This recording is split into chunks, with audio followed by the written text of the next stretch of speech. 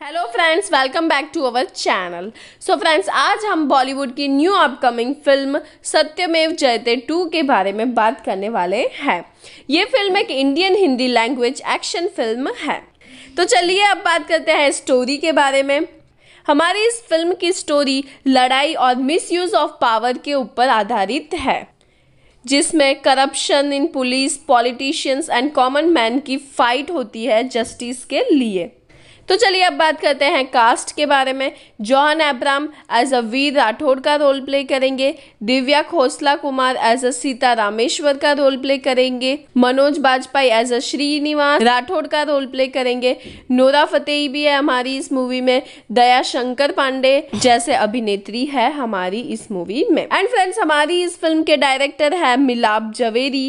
And production film है T Series and Emmay Entertainment and हमारी इस फ़िल्म के राइटर है मिलाप जवेरी एंड हमारी इस फ़िल्म का बजट है तकरीबन 70 करोड़ रुपीस का। एंड गाइस हमारी इस फ़िल्म की रिलीज़ डेट भी आ चुकी है जो कि ट्वेल्थ मई 2021 है।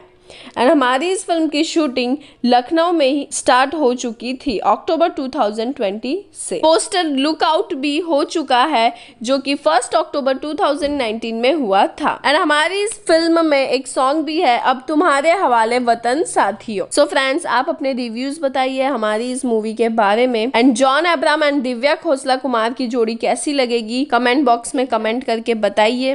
सो so फ्रेंड्स मिलते हैं अगले वीडियो में। तब तक आप अपना ख्याल रखिए and guys don't forget to subscribe our channel like comment and please share our video. Thank you